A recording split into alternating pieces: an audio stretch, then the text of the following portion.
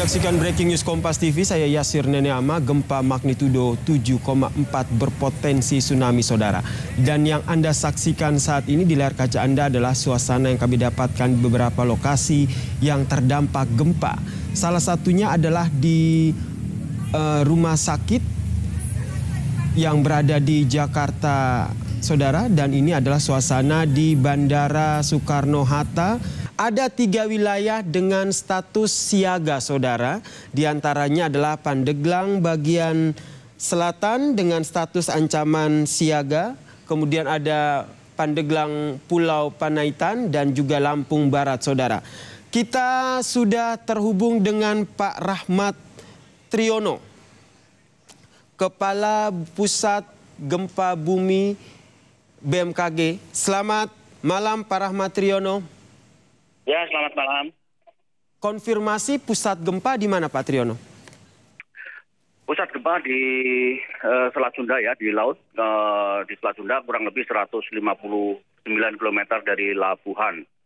Itu hmm. gempa terjadi 38 menit yang lalu. Ya, dirasa cukup uh, merata ya sampai Jakarta, sampai Jawa Tengah, Lampung.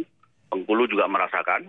Hmm. Dan kami telah merilis warning tsunami di uh, khususnya di Selat Sunda dan selatan uh, Banten maupun selatan Lampung daerah daerah-daerah yang cukup signifikan ancaman tsunami-nya ya dengan level siaga itu di Pandeglang, mm-hmm. Lampung Selatan dan Tanggamus ini adalah uh, daerah yang uh, potensi tsunami-nya sampai 3 meter. Sementara daerah-daerah lain itu levelnya waspada dengan ketinggian kurang dari 50 cm. Kemudian dari daerah terdampak sendiri sudah ada informasi dari pihak BMKG? Kenapa Pak? Pihak eh, lokasi terdampak. Halo putus-putus. Pak Rahmat Triono? Ya, ya. Ya kemudian bagaimana dengan lokasi terdampak? Oh dampak nanti kita nunggu laporan dulu dari hmm. BMKG daerah maupun dari BNPB ya.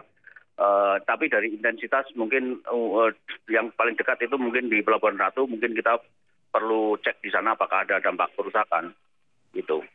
Kemudian tadi Pak Rahmat ada tiga lokasi yang saat ini masih diberikan peringatan dini status siaga. Tiga wilayah ini uh, secara geografis memang letaknya sangat berdekatan dengan sumber ataupun titik pusat gempa, Pak. Ya, di samping berdekatan juga bentuk hmm. pantainya ya yang ada teluk yang memungkinkan potensi untuk menjadi amplifikasi tsunami-nya bisa berubah tinggi ya. Uh, itu level warningnya uh, siaga dibandingkan daerah yang lain. Ke kemudian Pak Triono, uh, langkah yang tengah dilakukan oleh pihak BMKG saat ini dengan memantau uh, pasca gempa dengan magnitudo 7,4 ini apa Pak? Ya kita masih mantau gate yang ada di uh, Banten maupun Lampung. Mm -hmm. Tapi sampai sekarang kita belum melihat adanya perubahan muka air laut. Jadi uh, sampai sudah 30 menit ini, 40 menit belum ada perubahan muka air laut, ya kita berharap tidak ada tsunami. Bagaimana Pak bisa diulang apa uh, saja pemantauan yang dilakukan oleh pihak BMKG pasca gempa yang terjadi tadi Pak? Ya, eh, tentunya kita mengawal warning dulu, warning tsunami -hmm. sampai nanti berakhir kita memonitor gate di sekitar Selat Sunda. Kemudian tentunya gempa susulan juga kita monitor terus.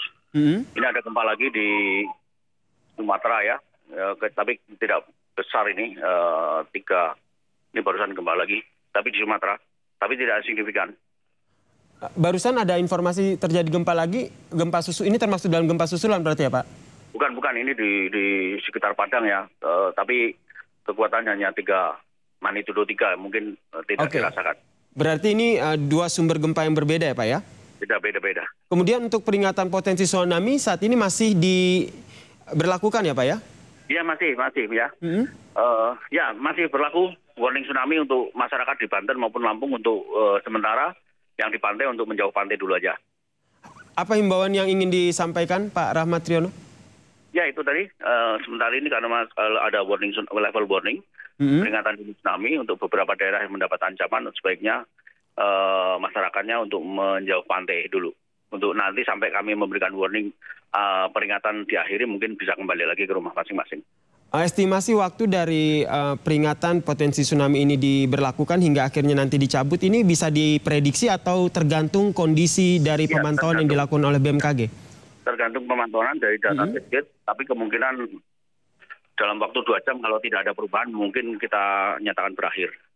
Oke, Sementara baik. itu dulu saya masih sedang lagi ngawal warning ya. Baik Pak. Pak Rahmat Triono. Ya, Baik. baik Pak Rahmat Triono, terima kasih atas informasinya. Nanti akan kami coba hubungi Anda kembali terkait dengan mengupdate informasi terkini terkait dengan gempa dengan magnitudo 7,4 yang berpotensi tsunami, Saudara.